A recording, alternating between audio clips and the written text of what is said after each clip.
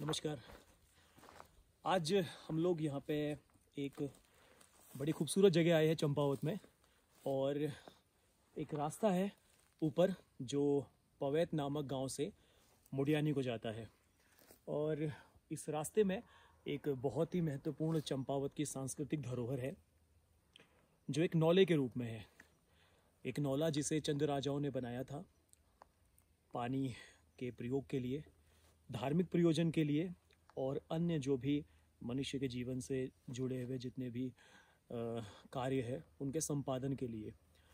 तो बहुत ही खूबसूरत नौला है और बहुत ही खूबसूरत इसमें वास्तुकला है, लेकिन अनफॉर्चुनेटली इस नौले की कंडीशंस इस समय बहुत बुरी है। बहुत ही बुरी हालत में नौला है, इसका जो पानी का जो स्रोत है वो सूख चुका है और कभी इसका बहुत यूज़ होता था बहुत सारी ज़रूरतों को यह नौला पूरा करता था, लेकिन आज जो है, तस्वीर पूरे तरीके से बदल चुकी है। तो एक बार देखते हैं इस नौले को करीब से।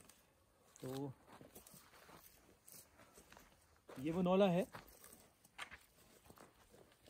पवैत गाँव के समीप स्थित।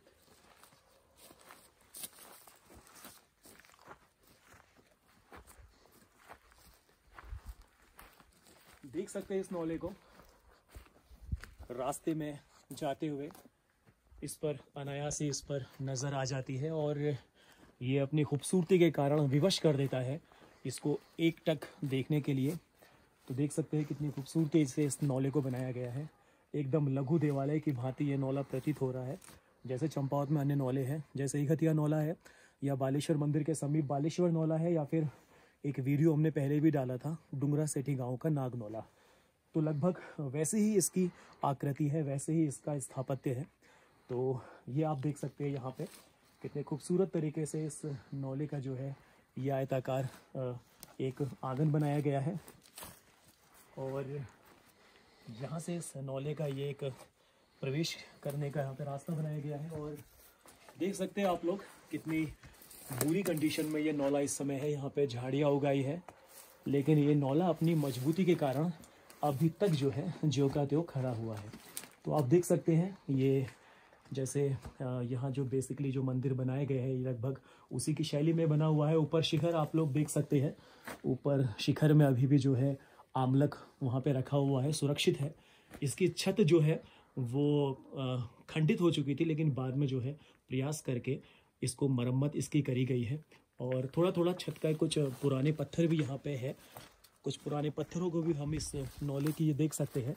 ये पुराने पत्थर और उसके बाद जो है इस पर मरम्मत करके सीमेंट बजरी की सहायता से इसको जो है इसको रिपेयर किया गया है। और ये पुराने पत्थरों से बना हुआ है, ये भी सादे पत्थर है। दीवारें फ़िलहाल सादी भी है, अंदर भी सादी है और बाहर भी इसकी सादी दीवारें हैं अलंकरण विहीन और इसका अगर यहाँ पे हम लोग देखें इसको तो दो मज़बूत स्तंभों पर ये टिका हुआ है और ऊपर जो है वृत्ताकार इसको सपोर्ट दिया गया है और ये यष्टि की आकृति इसमें बनी हुई है। एक वृत्ताकार शेप में इसको यहाँ पे आधार दिया गया है और अगर इसके नीचे हम देखें तो जैसे मंदिरों में, जैसे पिछले के मंदिरों में बताया था कि ऐसे स्तंभ जो है, सबसे पहले तो एक वर्गाकार बेस पर टिके हुए हैं और उसके बाद जो है एक आयताकार शेप में इन स्तंभों को जो है बहुत मजबूती से रखा गया है। तो बहुत ही मज़बूत स्तंभ, ठीक वैसे ही जैसे डुंगरा सेठी नौले में है। और ऐसे स्तंभ यहाँ पे जितने भी चंपावत में मंदिर है, सभी में बिल्कुल इसी डिज़ाइन में जो है स्तंभों को रखा गया है मजबूती प्रदान करने के लिए छत को। और अगर अंदर हम देखें, ये बहुत ही दुर्भाग्य दुर्भाग्य दुर्भाग्यपूर्ण ये दृश्य है कि ये एक नौला है, लेकिन अंदर जो है ये पूरे तरीके से सूख चुका है। तो ये देख सकते हैं, इसमें अब पानी की एक बूंद भी नहीं है। बशीर बद्र साहब का एक शेर है कि अगर फुर्सत मिले तो पानी की तहरीरों को पढ़ लेना। हर एक दरिया हज़ारों सालों का अफसाना लिखता है। तो यहाँ पे एक भी पानी की बूंद नहीं है।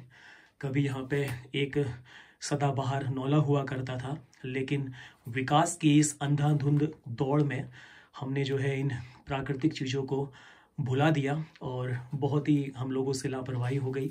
और इस तरीके के जितने प्राकृतिक स्रोत थे जो प्रकृति ने हमको बख्शे थे और जिन पर हमारे कल्याणकारी राजाओं द्वारा प्रयास किया गया था उनको संरक्षित करने का, उस उत्तरदायित्व को हम सही तरीके से उसका निर्वहन नहीं कर पाए।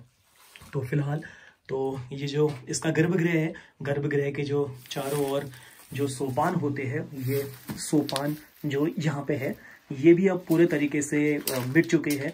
खंडित हो चुके हैं। देखने पर लग रहा है कि इसमें कम से कम चार या पाँच सोपान होंगे इस आयताकार कुंड में। और ऊपर इसकी जो दीवारें हैं, ये दीवारें सादी है, अलंकरण इसमें नहीं किया गया है। और ऊपर जो वितान है, इसको वितान बोलते हैं, ये वितान भी जो है सादा है, लेकिन अभी भी मजबूती के साथ जो है, ये यहाँ पर है। देख सकते हैं, अंदर भी ये डिज़ाइन बने हैं पद्म के। और सामने जो ये दीवार है, सामने वाली जो भित्ति है, इस भित्ति में एक ब्रैकेट बना हुआ है, एक लघु देवकुलिका के आकार का, जिसमें एक शिवलिंग रखा हुआ है, लेकिन ये शिवलिंग जो है ये अन्यत्र आया गया है। यहाँ पे कोई और मूर्ति के प्रतिष्ठित होने की अधिक संभावना यहाँ पर है। तो ये सेम वैसे ही ब्रैकेट है, जैसे डुमरा सेठी के नागनौले में था। तो ये देख सकते हैं कि कितना खूबसूरत ये नौला है। मजबूती से अभी भी है लेकिन दुर्भाग्यवश इसमें अब पानी नहीं रह गया है। और इसके बाद देख सकते हैं कि एक और ये जो आ, ये दिख रहा है एक डिज़ाइन ये बेसिकली आ, मंदिर का एक भाग है जिसको शुकनास बोलते हैं। जैसे शरीर में मुख में नाक होती है, ठीक उसी प्रकार स्थापत्य में जो मंदिरों में ये रचना होती है, इसको जो है शुकनासिका इसको बोला जाता है। तो ये ये भी अन्यत्र यहाँ पे आई है और हम लोग भूलवश ये समझ सकते हैं कि ये इस नौले का भाग होगी, लेकिन ये किसी एक मंदिर का भाग है। तो ये एक बहुत ही खूबसूरत नौला, लेकिन जो है दुर्भाग्यवश इसका जो पानी का स्रोत है वो सूख चुका है। तो अब ये सिर्फ़ एक यहाँ पे एक संरचना मात्र है और रास्ते में ही है आते जाते लोगों के लिए कौतूहल का एक विषय हो सकता है। लेकिन अगर कभी रुक कर हम इस चीज़ों को देखें तो हमको ये चीज़ें सोचने पर विवश कर देंगी कि ये इतनी अच्छी जो संरचना थी, इतना अच्छा काम जो था, वो कैसे नष्ट हो गया। तो ये बहुत अच्छी सोच थी पहले राजाओं की कि कहीं भी प्राकृतिक स्रोत मिलते थे तो उनके ऊपर जो है ऐसी मंदिर नुमा संरचना बना दिया जाता था, ताकि जो हमारे पानी से संबंधित धार्मिक कार्य है जो अन्य कार्य है, उनको हम आसानी से सरलतापूर्वक, सहजतापूर्वक कर सकें। लेकिन जो आने वाली पीढ़ियाँ थी, जो जनरेशन थी, वो इन चीज़ों को जो है उतने बेहतर तरीके से उनको कैरी नहीं कर पाई और ये सोर्सेज लगभग सब सूख चुके हैं। जो बचे हैं, अब हमारी कोशिश ये होनी चाहिए कि जो भी सोर्सेज हमारे बचे हैं, जो भी नॉलेज हमारे बचे हैं चाहे वो बालेश्वर नौला हो, चाहे वो एक हथिया नौला हो, चाहे वो डुमरा सिटी का नाग नौला हो या ऐसे बहुत सारे नौले हैं हमारे चंपावत में, हमारे उत्तराखंड में। तो अब हमारी कोशिश होनी चाहिए कि इन नौलों को हम बचाएँ, क्योंकि ये नौले हमारे सांस्कृतिक इतिहास के लिए भी ज़रूरी है। ये हमारी धरोहर है, ये हमारे पूर्वजों की हमें देन है।